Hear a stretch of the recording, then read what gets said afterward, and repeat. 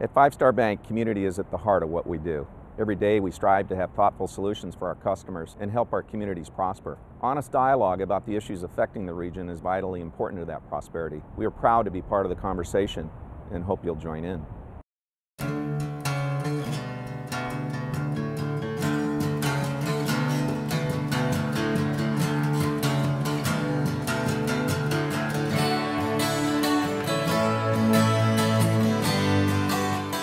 We are wrapping up the second season of Studio Sacramento. As production for season three begins, we will continue to invite policy, business, and community leaders to join me right here to discuss the issues and the people that have an impact on our region. But first, we'd like to share some of the highlights from this past season and ask you to join us for all new episodes beginning July 12th as we continue the conversations that matter right here on Studio Sacramento. Let's talk a little bit more about bridging gaps and, and how we live.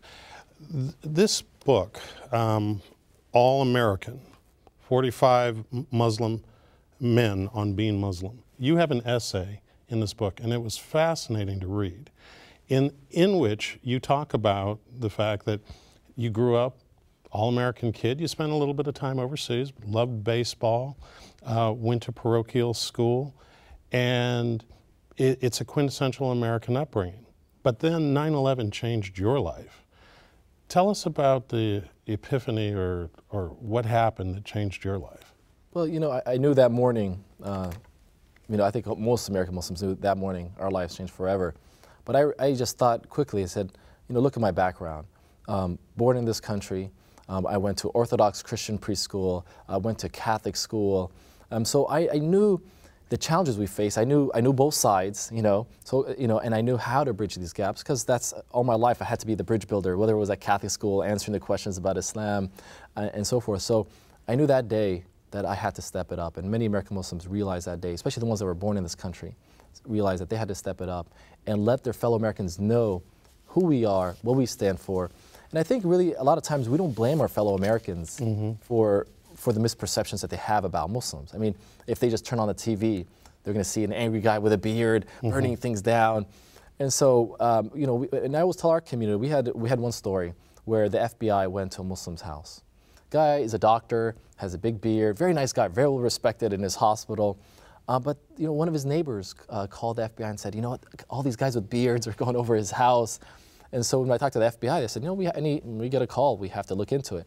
But then I turned around and I asked the Muslim, I said, do you ever speak with your neighbors? He says, you know, I say hi, you know, from, from a distance. You know, I said, no, it's your fault.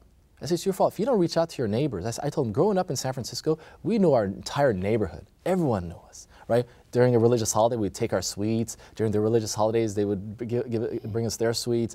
Um, and so, told them the importance of reaching out. If your neighbors don't know who you are, right? And this is the image they see on TV, they're going to be afraid. But if you go over there, give them your sweets, invite them over, um, you know, and they'll say, you know, we know these Muslims. They're good people. They're family people. You know, they believe in the same thing that we do. Well, there seems to be a, a difference in terms of generation. Let me read you something that recently came out. There's a recent study by uh, the Gallup organization called Muslim Americans Faith, Freedom, and the Future, uh, examining U.S. Muslims' Uh, beliefs 10 years after September 11th.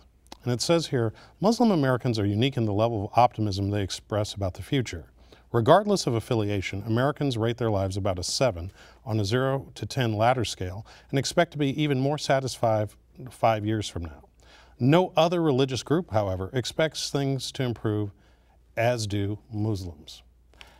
So, while there have been challenges in the post 9 11 era, it, it sounds like that the community is fairly hopeful and that especially that the younger generations are really stepping forward in a way that hasn't happened in the past. Can you tell us a little bit about that in our final moments? Um, American Muslims, um, you just look around the community where they're building Islamic centers, American Islamic centers that are catering to the American Muslim community, and not catering to a, you know a country overseas or folks that came from overseas. Mm-hmm. People realize, many of the immigrants realize that you know, for, for after, maybe after five years, you know, like, oh, eventually we'll go back home, right?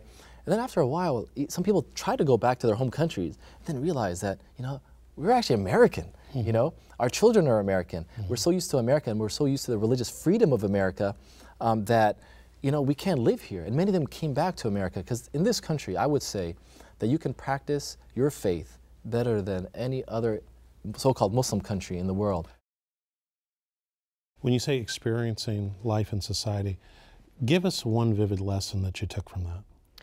I think that she took a moment in time to um, say, explain to me that I had the advantage of being in an outstanding school system um, and that I had advantages in life that a lot of other kids didn't have.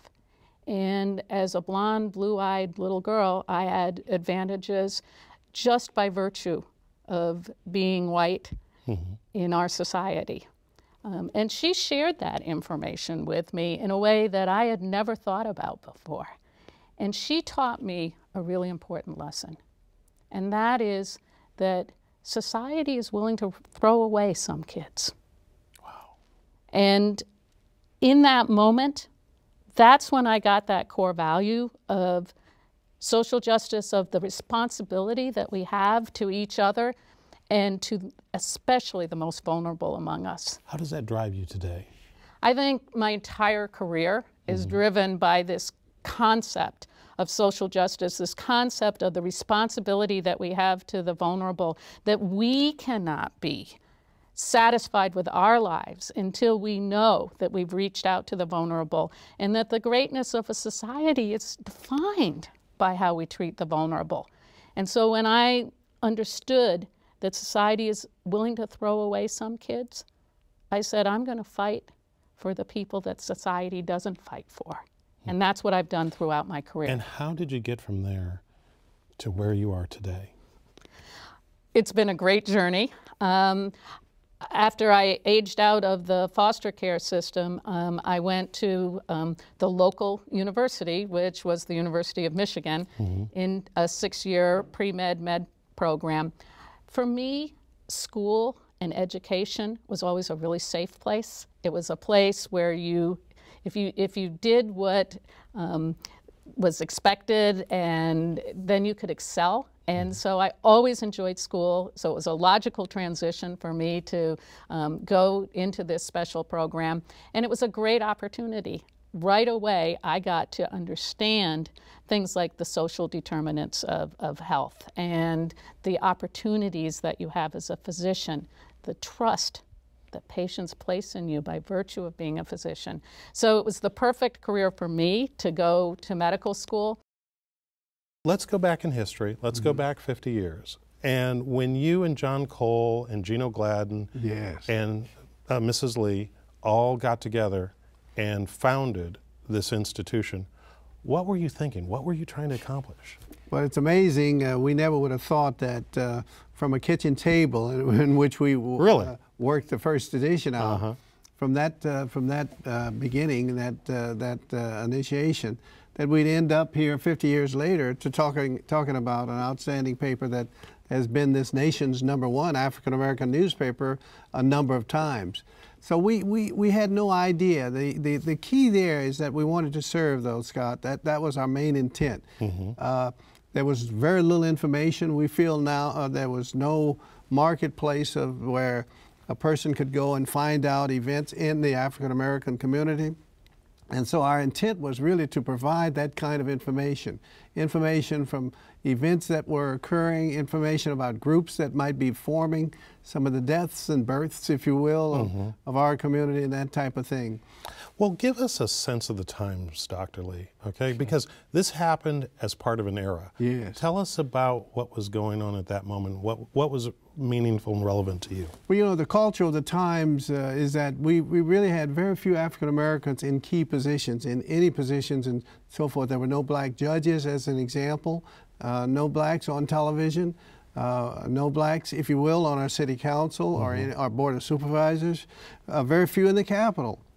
In fact, uh, mm. we were looking at the other day, and we felt in when we were formed the Observer in '62 that there actually was only three African American staffers working in the state capitol. You're can, kidding. Can you imagine that? Wow. And, you know, so so from that very first beginning, we were able to uh, serve really kind of as a catalyst for, form, for, for many of these job opportunities, for many of the, uh, the, the uh, announcements that were occurring, for many of the, actually the appointments that were being made.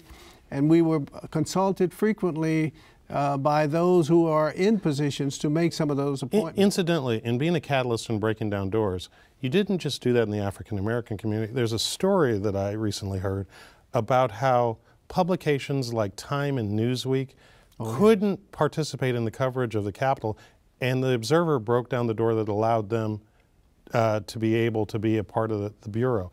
Tell us, tell us well, that know, story. We, actually, we could not be we could not be credentialed, if you will, because we were not es uh, essentially we met the the rules committee requirement at that time was that you had to be a daily newspaper, as an example, in order to have a credential. So you couldn't get up and cover. So uh, uh, magazines like Time Magazine, who was not not obviously a daily uh, publication, nor were, were the Observer could not be credentialed. So we, in a, in a sense, we challenged that, uh, uh, that uh, credentialing rule and, and, and was able to change the Rules uh, Committee uh, requirements at the time.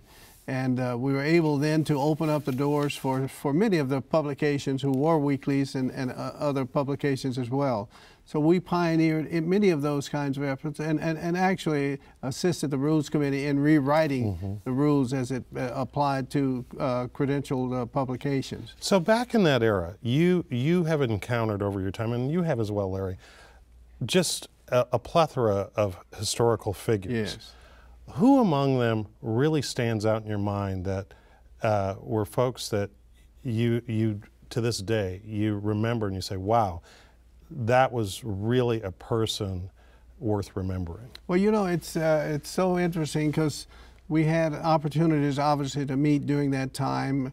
Everyone from the political leaders, actually the the uh, celebrities that were traveling. Political leaders like who? Political leaders like, uh, you know, of course, all of our, our governors, mm -hmm. essentially beginning at that time uh, from from Pat Brown. Uh, my wife even went to work for Pat Brown for a short time, mm -hmm. as an example uh, through, through Governor Reagan, through uh, Deukmejian, through Young Brown, the current uh, governor of our state. Incidentally, Governor Reagan, President Reagan, used to come by the office in Oak Park? Yes. Well, we, we, we, we, we established a real personal relationship with, mm -hmm. at that time uh, uh, when he was governor of our state with him because not only were our kids going to the same school, Brookfield School, mm -hmm. together, uh, we were able to go to uh, establish a, a, working relationship with him.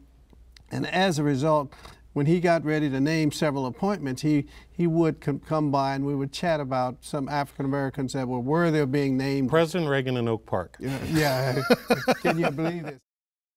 Now, what is Mingi?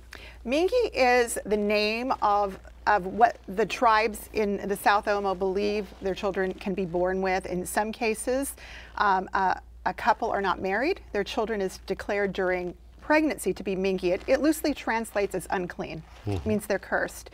Um, sometimes their top teeth come in before their bottom, that, and then are a twin. And that's a big deal. That's a big deal. So there, there are different reasons. Mm -hmm. Sometimes the couple is married, but they did not announce at an elaborate ceremony to the elders that they were trying to conceive.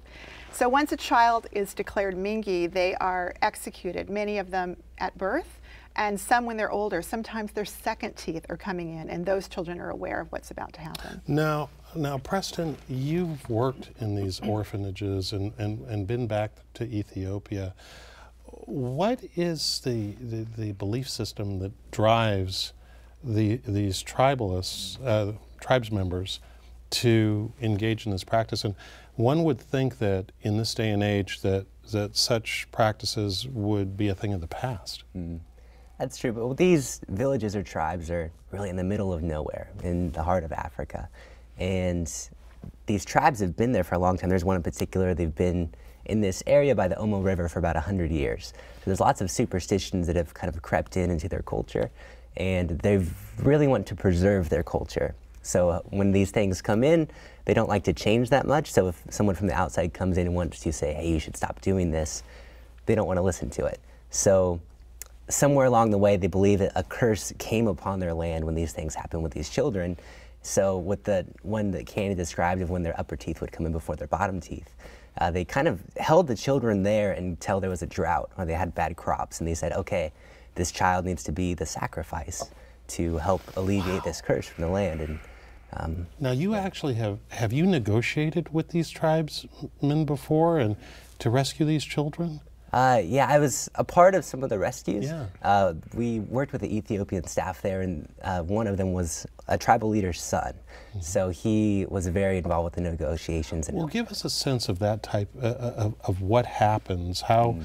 how these children are identified, how the team goes in and rescues them. How does that happen? Uh, well, so some of the babies are left stranded in the bush when they it's deemed a, ming, a baby mingi, and that's one where a father and mother maybe didn't announce that they wanted to try and have a child. Uh, so those children are killed very early on. Uh, the older ones, there's something called the Mingi Gate, that when you go to one of these villages, it's this wooden framed kind of archway that you walk through, and there's different passages. One passage is for a wedding, so a husband and bride will pass through it before they go through the ceremony.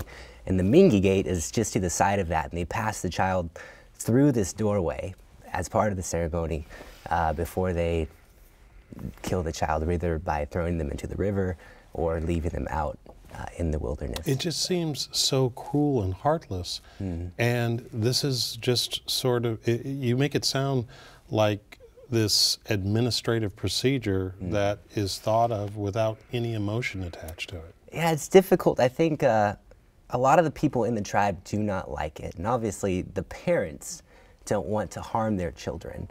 Uh, but there's a lot of so much superstition and kind of just the power that the eldership has over the village that they keep these people in a lot of fear and saying if this does not happen then you're harming all of these people not just your child. So it's kind of for the sake of the community that they do this. Uh, and there's disagreements. The elders want to keep the tradition and that going on and continuing it. Uh, but the families and the parents try to fight against it but they just can't really so it's a very sad thing and emotional thing. What were you trying to achieve in the design? I mean, what, what was kind of the thought process and how this design, uh, one, takes care of its functional needs, but also integrates into this neighborhood? It's a, it's a very complicated process, to be honest, and there isn't a straight, simple way to answer it. The, That's uh, okay. We like complexity it, on this show. It's the, We've thrown a few curveballs at him too. So it's the it's really the convergence of um, a, a, lot of different ideas and a lot of mm-hmm. different desires sort of being then exhibited in one building design. So it's a challenge. We, I think they, they came to my office and, and, and me in particular because of my long commitment to the central city and to the Midtown neighborhood in general. And uh, for 20 years, I've lived and worked in the, in the neighborhood, so I, I know it pretty well. You name an intersection, I can visualize it in my mind. Um, I'm not going anywhere. My office is on Capitol Avenue and the theater will be on Capitol Avenue. So it's, it's a neighbor to me, both in terms of home and work.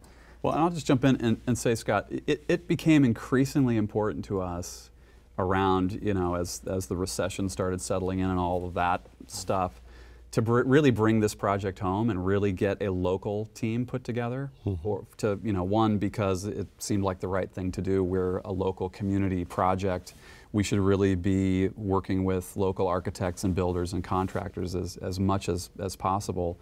And, you know, and Ron's knowledge of Midtown. I mean, we looked around and pretty quickly got, got to him as a candidate. He's, yeah, he has, he has a holistic vision of Midtown, whereas one architect, one highly talented architect might come in and just say, here's a gorgeous building, but he sees all of Midtown you know, is one landscape and how to integrate it in there. So well, that's the thing yeah. that, that's remarkable in that when I looked at the drawings for the project.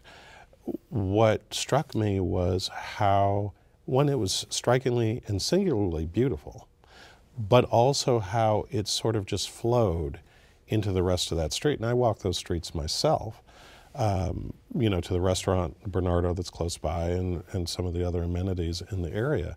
But that it just flowed and, and seemed to seamlessly integrate while still maintaining its own character. Well, and I have to say, it's a, it, it's a remarkable opportunity to design something like this in one's own community. So we embraced it uh, wholeheartedly and took, took great care in terms of what the, the form would ultimately become. And it, in my mind, it really evolved and grew out of the, the work we did with the B Street team and also with our understanding of the central city and the neighborhoods surrounding the B Street site. You are known as a guy who does heavy lifting on big issues. And one of the things that's happened most recently is we had the tragedy in Newtown. And that affected you profoundly. What did you learn from that experience that you brought back to the work that's going on in the legislature? Well, as you know, uh, I've been committed to this issue of improving the mental health system in California for many, many years. I think it is one of the forgotten issues of our time, and that it is inextricably connected to every other social and educational problem uh, that we have in this society. But because of stigma, because we don't like to talk about it, it tends to not get the attention, and it certainly usually falls to the bottom of the budget priority list when it comes to state and federal budgets. But a couple things have happened uh, over the last year.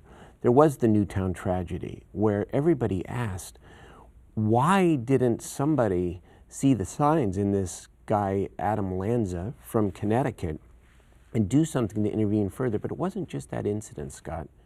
It was also what happened in Sacramento with the terrible story of Nevada busing a mental health patient to California and, uh, and leaving him uh, essentially for the cops to pick him up. Why was that important? Because it shows that Nevada, for one, um, has substituted for a decent, cost effective, compassionate mental health system, uh, putting people on a Greyhound bus and dumping them in another state. And I think that that speaks to the gravity of this issue and why more attention, public policy attention, must be paid to building a better mental well, health let, system. Let, let, me though, let me give you sort of the devil's advocate position Sure. on this. that busing of that patient, in part, some might say was driven by the fact that we provide a better uh, safety net in California than Nevada does. And you're the father of Prop 64, which 63. was 63, which is the millionaire's tax. Correct. And which provided a, a, a new floor for providing community mental health care services. So, in fact, it, so, you know, some might say that in fact we're becoming a magnet now because of the fact that we're providing more services. Absolutely no excuse for what Nevada did. Every state needs to have a mental health system. And will we back off on providing services because they choose to act in that way? Never, not as long as I'm around. Um, but our work is not done here. So, th- so Newtown, the Nevada story, uh, compelled me to, in my last two years in the legislature, and with a slight budget surplus, not much, but a little bit, to say if we can invest a little bit of money, where should it be? Now, you said I authored Prop 63. I'm very proud of it. It generates a billion dollars a year for the kind of system that we want. What, just quick association, what are the things that you leave behind that you've done that you're most proud of? Well, it's a long, a long list for me. So uh, if I had to just winnow the San Francisco Bay Trail, it's almost 500 miles of recreation opportunity opened up around the bay. Um, consumer protection things that weren't no special interest really cared about, but things like if you're going to get called for a, a jury, don't keep people there endlessly. You know, call them for one day, or if they get onto a panel for a trial, one trial. Uh, if you're expecting people to wait at home for the cable TV guy or the phone or furniture delivery, tell them when you're going to be there within a four-hour window. So there are things like that. That, it's interesting that you would go there because those are sort of Joe lunchbox, bread and butter type issues, They're and you're not talking about some grand multi-billion dollar thing. That, that's actually surprising. Well, they're practical. And, you know, and then I spent a lot of time working on social insurance things because health insurance and things like unemployment and disability and child care impact people's lives in ways that these sort of grand schemes don't. And I always thought though that was worth my labor. Hmm. You know, after 46 years, and when you retire out of this office, is it at all scary to think about waking up the next day and not having a, an elective office to go to? Uh, well, I, I, I don't know what I'm going to do next. and so there is this sort of cliff effect feeling. Sure. Um, but I'm, you know, I'm ready for that. It's whatever it is, it'll be fine. And that's our show. Thanks to all the guests who have joined me at this table over the past two seasons, and thanks to you for watching. We'll be back on July 12th with a brand new episode. For Studio Sacramento, I'm Scott Syphax. See you next time right here on KVIE. At Five Star Bank, community is at the heart of what we do. Every day we strive to have thoughtful solutions for our customers and help our communities prosper. Honest dialogue about the issues affecting the region is vitally important to that prosperity. We are proud to be part of the conversation and hope you'll join in.